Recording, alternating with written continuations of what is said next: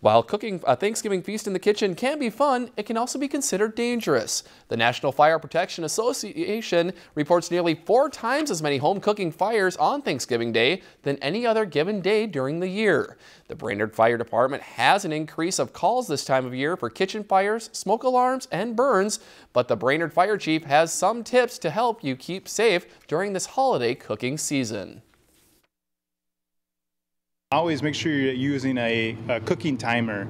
If you're gonna, for some reason, step away and have something in the oven, it's just a great one reminder to make sure that um, you remember you have something in the in the uh, oven. And then also just make sure you're not leaving anything unattended on the stove. If you happen to step away, make sure you um, turn the heat source off.